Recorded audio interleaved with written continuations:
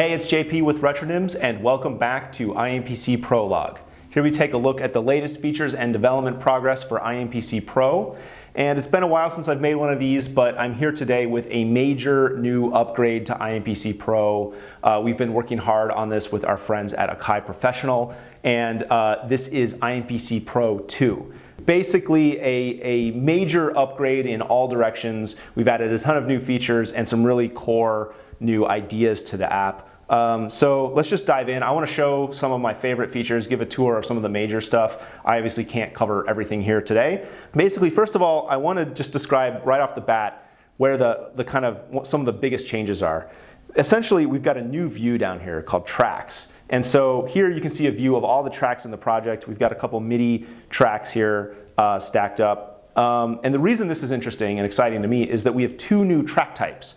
So uh, you're no longer just limited to drum tracks. Obviously this is MPC, drum tracks, you know, 16 pads is the heart and soul of the thing, but we really wanted to start adding more song making capabilities. So we've added support for audio unit plugins, and so you can add an audio unit track and uh, an audio track. So you can record from mic uh, uh, or line in, that kind of thing, to add an audio track. I'm going to show audio unit tracks first. So basically right here or within from within the tracks menu, uh, you can hit new track. You can see here there's three choices. Uh, I'm going to choose an audio unit. And once I have an audio unit, you can tap the uh, program menu essentially uh, to load your audio unit. So this is just the installed audio units I have here. I'm going to select iSem made by our good friends at Arturia. Okay, so now iSem's loaded up, and basically if I go over to uh, some of these other views, like Tweak, uh, it's a different interface. So if I tab up to uh, this first track, or second track, I can see that the tweak mode is essentially my program editor for my drum tracks, but if I go down to track three, uh, I have my audio unit plugin. So it's a different interface. Um, essentially, this is like the param tweaking view for this synthesizer. And of course, you've got a keyboard here that you can play on and record notes from here. Um, you have access to all the presets for this audio unit in our program menu, so you can access that from anywhere in the app or uh, load using their built-in preset browser here. Uh, let's see what we got, a couple pads.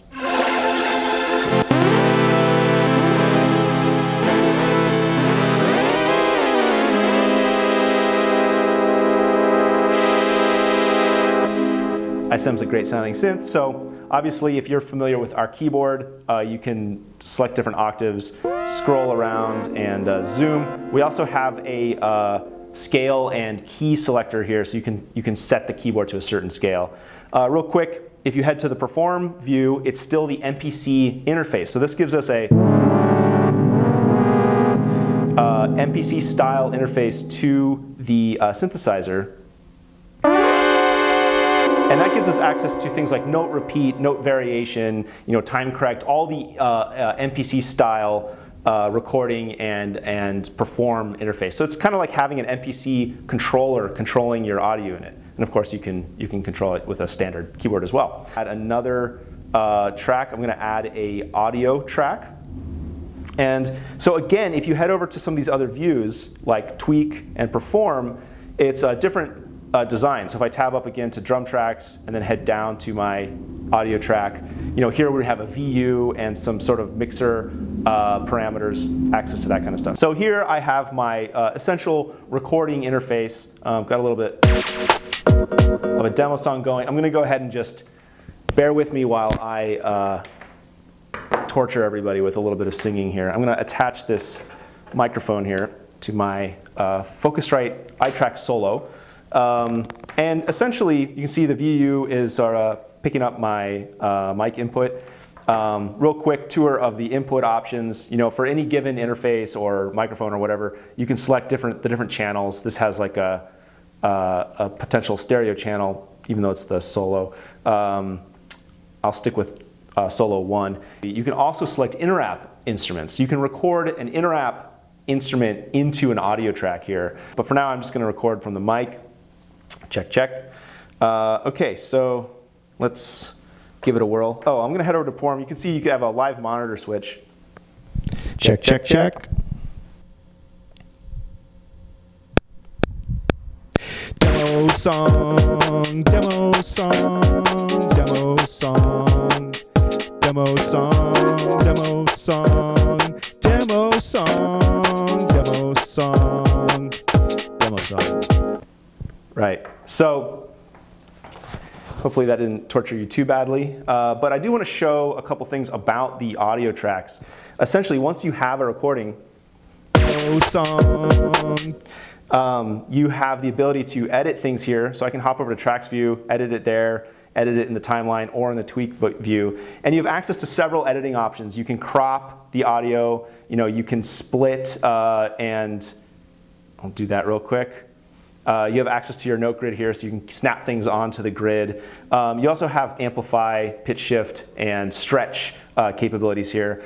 The really exciting thing for me, I'm going to undo some of those changes here. The really exciting thing for me is because of the nice uh, time stretching and warping capabilities of these clips, uh, I can do things like change the tempo of the track and everything will lock in. So check this out. Demo song, demo song, demo song. I'm going to add a little bit of uh, reverb to this just to kind of not have it such raw audio. Demo song, demo song, demo song, demo song, demo song, demo song, demo song. So you can make adjustments to the song tempo and everything will stay locked in and it's a pretty nice warp. Um, so again, stretching, uh, pitching, that kind of stuff, all available here. Okay, so that's enough of that. Um, basically, that is kind of some of the major new additions. And like the idea here is, you know, if you ever wanted to have a beat that you'd created and bring in, you know, some sort of vocalist to add lyrics on top of that, uh, now you can do it right in IMPC Pro. And, you know, really to go with this feature, what I really wanted to be able to do was set up a song, bunch of sequences, have an arrangement, and be able to lay down vocals across the entire song. So we've expanded and kind of overhauled how song arrangement works. You know, if we go to the song mode tab, it looks kind of the same as an IMPC Pro 1 new color scheme, but you know, the difference is up here, this play song toggle. It's basically like all in here. And if you ever used uh, tabletop, you'll kind of be familiar with this style, where if the song toggle's on, uh, it will play from sequence to sequence. And if it's off, it'll only loop on the current sequence. So you're always kind of in the song, as opposed to IMPC Pro 1, where you had to sort of take your sequences and drag them to like a song playlist. So that means that when you're in the song, if you drag these sequences around, it will rearrange the song. So this is actually where you handle your sequence management, but also song arrangement. So I can add a bunch of sequences, I can clone sequences, and anytime I drag a sequence around, it's rearranging the order of the song and the whole composition. So I did want to mention that because this, the play song toggle is kind of key to the, the workflow now. Um, so yeah, I mean that's that's kind of the big some of the big changes, the the two new track types.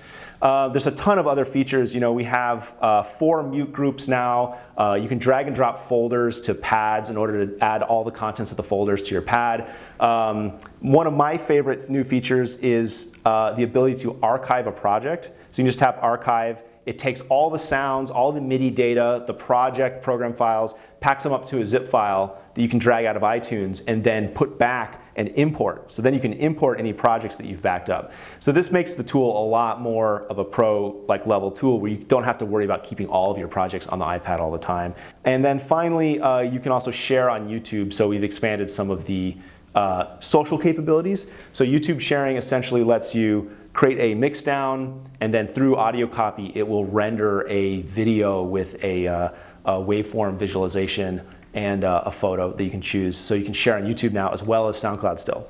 So uh, that is a quick tour. There's a ton more features. I'm gonna try to make more videos. We're gonna talk about more of the features as we go. Um, but that's some of, some of the, the key stuff. Um, I also wanted to mention, I guess before I let you go, uh, that one of the goals for IMPC Pro 2 was to reduce the footprint so that it wasn't such a large uh, uh, uh, footprint on your disk on your iPad. Um, so we've included a ton of original new content, but a lot of it is available online from AudioCopy. So when you get IMPC Pro 2, it unlocks some sound packs in AudioCopy that are exclusive to IMPC Pro 2. This is the only way you can get them, and it's essentially the included content Uh, but this allows you to download what you want, uh, remove stuff later, and really manage your disk space a little bit better. Um, so I want to show you how to find those really quick. Essentially, there is a genre in AudioCopy Content Store, which is what we're looking at right now, uh, called IMPC Pro 2 packs. And if you go to that, these four packs are all available. If you purchase IMPC Pro 2 and have it on the iPad, they will be downloadable for free. And once you download those, you can paste them into your uh, tweak view right here and it'll bring in all the programs and everything that goes with those. So there's one right there that I pasted earlier. Um, so essentially that's a great way to get a ton of value out of this thing. You know, we're charging $24.99 for the app and it comes with uh, those four sound packs plus one built in and another that you can unlock through using the app. And essentially that's maybe $35, $40 worth of value that you get comes with the app. Uh, and I think that's a really good value for the $25. Uh, another thing that I want to mention is for existing customers of IMPC Pro 1, uh, we're also going to be launching a bundle that allows you to upgrade to IMPC Pro 2 for essentially the price of IMPC Pro 2 less what you paid for IMPC Pro 1. So the bundle is $28 if you bought IMPC Pro 1 for uh, $12.99. I think you end up paying, what's the math, Taylor? $15? Um, something like that. So, so uh, it's a great way to upgrade without having to pay again for, for something you've already purchased. And with that, I'm gonna leave it. This should be available today. Make sure you look for the bundle. It's called the IMPC Pro 2 Release Bundle. Hey, if you don't own IMPC Pro at all, I guess I would suggest starting with IMPC Pro 2, but if you wanna find a great deal, get the bundle. You can get both for a limited time for a low, low price of $28. Make sure you subscribe to us on YouTube. I'm gonna be doing more of these videos, trying to share more about uh, the features and how to use them. Uh, also, I do live streams from time to time. So if you subscribe to Retronyms, uh, you'll get uh, updates about that. Also, make sure to subscribe to Akai Pro uh, here on YouTube. And uh, hey guys, thanks. I really hope you enjoy this. And that's it, I'm out.